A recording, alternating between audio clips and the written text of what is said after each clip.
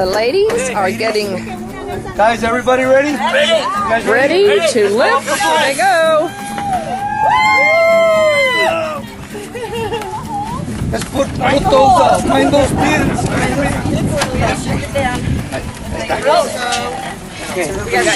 Yeah, I got mine. There we go. Okay. I got it. Hold it up. All right, let's get some two bicycles. Go get some. Go get some stuff. We'll put them right here. First wall of the house is up. Hey, Dad. For now.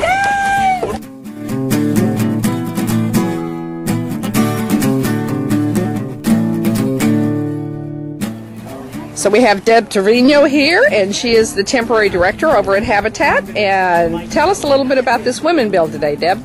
Well, we started, we were supposed to start yesterday, but you know, the northern that blew in, we uh, had to kind of cancel, but we needed the rain down the valley, so we weren't upset about it. But today we had about 15 ladies show up, and with our uh, guys that are out here, they've already put up three fourths of these walls. They made the walls, they hammered them together, and then they put them up. And uh, they've done a really super great job. They're going to be here tomorrow. We're going to have more uh, volunteers. It'll be about 40 in the morning, and we'd love to have anybody come out and help.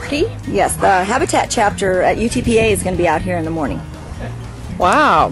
And uh, we're building this for the Solis family. and hopefully Mrs. Solis will be back from Mexico tomorrow to be a part of this, and you'll um, hopefully get to meet her. She has three sons, and her oldest son that's going to Pan Am is uh, working at Best Buy and helping his mom to make the payments on this house when we turn the keys over to them. Well, that's great. Now you're hoping to do that when?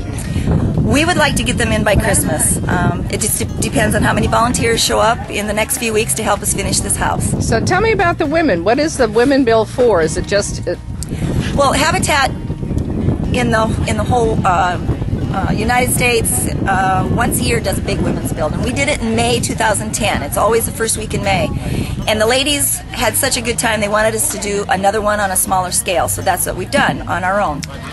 So Capital One um, gave us five thousand dollars to start the project.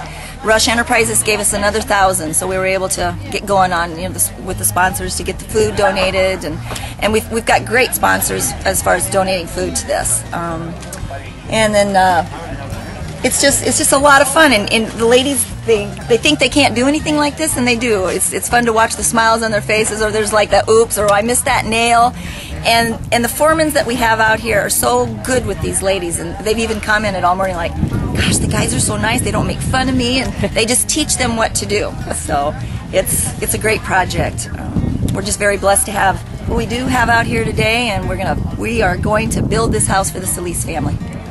Thank you.